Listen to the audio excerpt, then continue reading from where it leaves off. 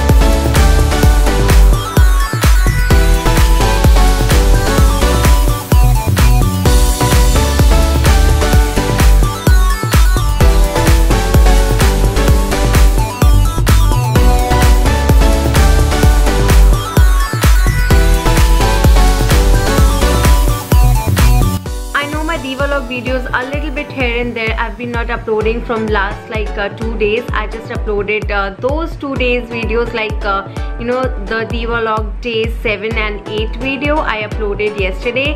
So today I will be uploading uh, the you know Diwalog day 9 as well as the Diwalog day 10 video. So that is how I'm managing. It's not at all like the way I planned. But next time I'll be better prepared with all the you know unexpected things so anyways my videos are going to be one video for a day. It's going to be like that. It's not that I won't be uploading. So I hope you can you know understand that thing. So guys that's it for this video. Do let me know which was your favorite shade among the shades that I've shared with you. And yeah if you like this video then don't forget to hit that like button down below. And do share this video with your friends guys because again that is how I'm going to connect with more of you. And also subscribe to my channel if you haven't subscribed yet. I shall see you tomorrow with a new video. Till then take care. Bye